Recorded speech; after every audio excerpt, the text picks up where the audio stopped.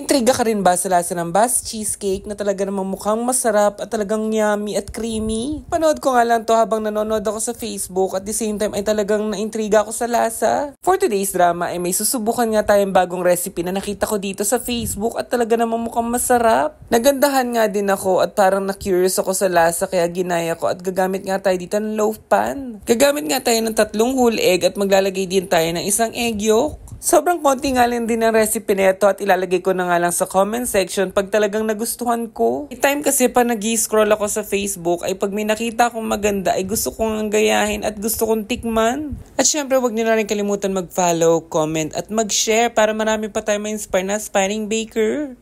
After naman natin sa egg ay set aside muna natin yon at mag scale na nga tayo nitong cream cheese. Hindi naman kailangan ganitong brand na gagamitin yung cream cheese pero kung may budget nga kayo ay pwedeng pwede nyong gamitin to. After nga ng brand na Philadelphia, ang susunod ko namang brand na gusto ay yung Swiss Valley at yung Farm Kineme. Sakto din do sa baking store na binibilan ko ay nakasale nga to dahil nga mag-expire na to sa December 11. 220 ko nga nakuha tong dalawang to at the same time ay talagang nakamura talaga ako. Huwag nga kayo mag-alala dahil dito lang naman namin kakain ito sa bahay dahil pag may sinusubukan akong bagong recipe ay kami muna ang titikim. Gumamit nga lang ako dito ng hand mixer pero kung wala kayo ay pwede naman kayong gumamit ng wire whisk. Medyo mapapadali kasi ang trabaho mo pag gumamit ka nga ng hand mixer at the same time ay kailangan yung cream cheese ay soft. After naman natin mas-smooth yung cream cheese ay maglalagay naman tayo dito ng icing sugar. Ito na nga ang gagamitin nating pampatamis ng ating bass cheesecake dahil hindi tayo gagamit dito ng asukal. Make sure na gumamit din kayo ng strainer para smooth talaga yung pinaka-icing sugar natin at the same time hindi nga magkaroon ng buo-buo. Hindi nga ito yung madalas na ginagawa kong cheesecake dahil French cheesecake talaga ang madalas kong ginagawa at the same time ay nagandang kasi talaga ako dito. Ako lang ba yung pag may nakita kong magandang picture ng pastry ay talagang naku-curious ako kung ano magiging lasa nun. Gusto ko kasi malaman kung maganda lang ba siya or masarap din. After nyo naman i-mix, ay make sure na i-scrape nyo yung side ng bowl para naman wala tayong matirang mga powder sa gilid. Para naman pag binake natin to mamaya ay talagang smooth talaga ang kakalabasan ng ating bass cheesecake. Minix ko nga lang siya ulit hanggang makita ko na nga na smooth at wala na nga ako nakikitang buo-buo pang icing sugar.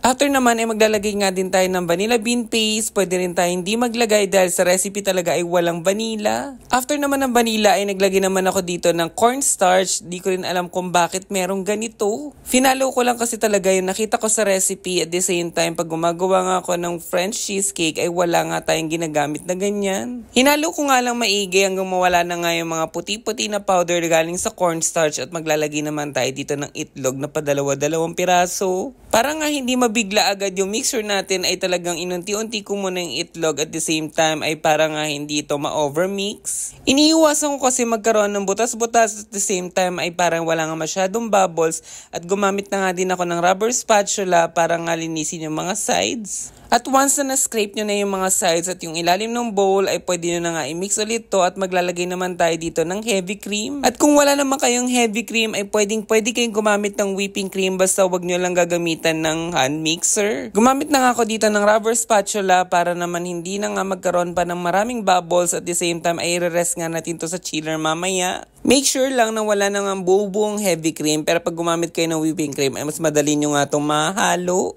After nga ng 15 minutes dito sa chiller ay nilabas ko na rin to at ilalagay ko na nga to sa dalawang loaf pan. At kung mapapansin nyo ay talagang smooth talaga yung texture ng ginawa natin at the same time ay titimbangin lang natin to sa dalawang loaf pan. At ang technique ko nga minsan sa paghati ng mga ganyan ay tinitimba ko muna yung pinaka bowl para nga alam ko na yung sukat ng pinaka mixture. Tapos ay didivide ko nga lang sa 2 para naman hindi na ako mahirapan pa magpasalin-salin ng paunti-unti. Kakatingin ko nga nun sa camera ay talaga sumobra na nga at hindi ko kasi alam kung pantay ba yung pagkaka-video ko dito. Sa mga oras nga na yan ay talagang kinakabahan na ako dahil alam mo yung feeling na sayang yung cream cheese pag hindi nga maganda ang kinalabasan nito. Pero ganun talaga pag nagsisimula tayo or nagtatesting tayo ng mga recipe ay talaga may takot tayo dahil nanghihinayang tayo sa ingredients. Sa recipe nga ay dapat ibibake natin to sa 200 degrees Celsius pero dahil hindi nga umaabot yung temperature ko ng 200 ay 180 degrees Celsius lang. At ibibake nga lang natin to for about 29